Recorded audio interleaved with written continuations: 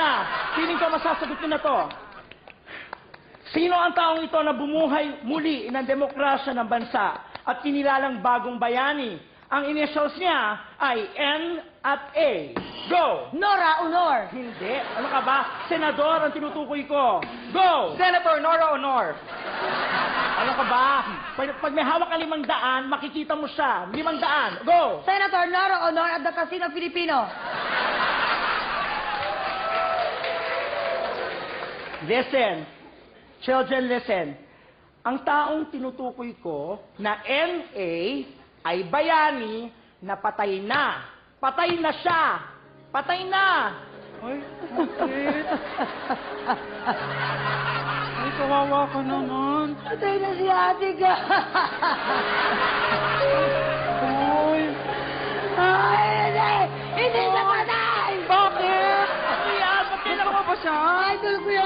pelikula nila ni Claudine.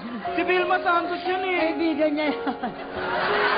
Sandali, sandali. Tumayo nga kayo dyan. Ano yung acting nyo? Buhay pa si Ate Gay, no? Nagsashow siya sa Amerika. Ang lakas-lakas pa. Nakakaloka kayo. Ang ibig ko sabihin, patay na na NA, si Ninoy. Ninoy Aquino. Ha? Patay na si Ninoy Aquino.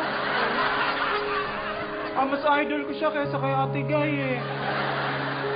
Pag hindi kayo bumalik dito, hindi ko na to babalik kapag nag-commercial tayo. Wala naman nanalo. Patay na si Nino. Saan ba kayo nag-aral? Ha? Saan ka ba nag-aral? Ikaw? I'm proud to be a Tesdanian. I'm from Tesda. Saka proud ako sa kanya kasi next year magiging Catholic school na siya. Ano ng pangalan? Saint Tesda. Ikaw, ikaw, Marina, ano ka ba? Saan ka ba nag-aaral? Ano ba yan? Ba't hindi kayo makasagot? IS. Ay, o IS pala eh. O ano ba yon? Elementary School. Kakaloka kayo? Simple-simple mga tanong, hindi niyo masagot. Makaano ka naman dyan? Saan ka ba nag-aaral? Hoy, ang eskwelahan ko, ang pinakamagandang eskwelahan sa buong universe. Saan yan? Bakit? Dahil ang eskwelahan, kapag pinangalan kasunod ng pangalan ng bayani, alam naman nating lahat na pampublikong pampa, na paaralan yon. Kapag pinangalan naman sa santo, ay pribadong paaralan. Ang Oh, ito pangalan sa'yo. ng eskwelahan ko ay mas mataas pa kaysa santo. Ano nga Ano yun? yun? Ama, Computer College. Si Lord na yon. May hymn ba kayo dyan? Oo, meron kaming hymn. Ano yun? Ama namin ang nagtuturo na mag-computer, member sa Friendster.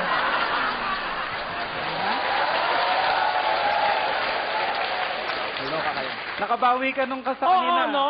At ang kinuha ko sa ama ay BSCS. Wow! Ano yun? Bachelor of Science in Counter-Strike. Major in Dota. Okay, balik tayo sa laro. Nakabawi ka na talaga. Kagabi, hindi ka kabawi, ha? Huwag mo na ulitin yung kanina, oh. Manok na bata. Ano kaya? Kayo ah. Kayo ah. Ano kaya yun? Dire kayo ko na. O last, para matapos na to. Ano ba yan? Lo? Ba't kasi naisip-isip ko pa yun? Kung alam ko lang, hindi ko bibitawan. Mahiya tuloy ako. Okay, may lakad ako tonight. Kailangan ko magmadali. History, makinig mabuti. Sino ang nakapatay kay Magellan? Ang initials niya ay LL. Marina! Lito Lapid. Ano ka ba? Hindi Pampanggenyo ang tinutukoy ko. Taga Cebu, Cebuano. Ay, alam Ano? ko yan! Leto, lapit.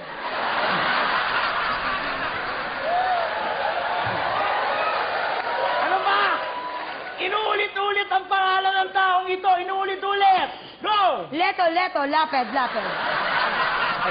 Maikli lang yung pangalan niya para nickname lang. Go! Lot-lot. Nung pinatay nila si Magellan, marami siyang kasama. Oo. Lot, Lot, and Friends. Kaloka kayo. The correct answer is Lapu-Lapu. Ah, Lapu-Lapu and Friends. Wala kang friend. Alam mo sa mga ugali mo? Ito lang ako, friends. Hindi ko alam.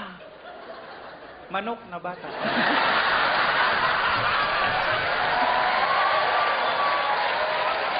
Pinagtitripan mo ako. Aray! Sumusobra na kayo. tapusin na natin to. Ang haba-haba na ng show nyo. Hmm, manok na bata.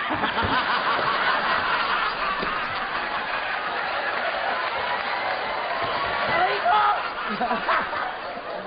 Huli kayo dito! Para dito na lang natin tapusin to. Makinig, last question para matapos ang gabing ito. Listen, ano itong bagay na gagamitin ko para matapos ang mga problema ko ngayon? May tusok, matalas, labaha ang nagpapatalim, at ginamit ito ni Lapu-Lapu kay Magellan. Gagamitin ko din sa inyo. Sa pangalan ito ng isang mahabang isda. Ano ito?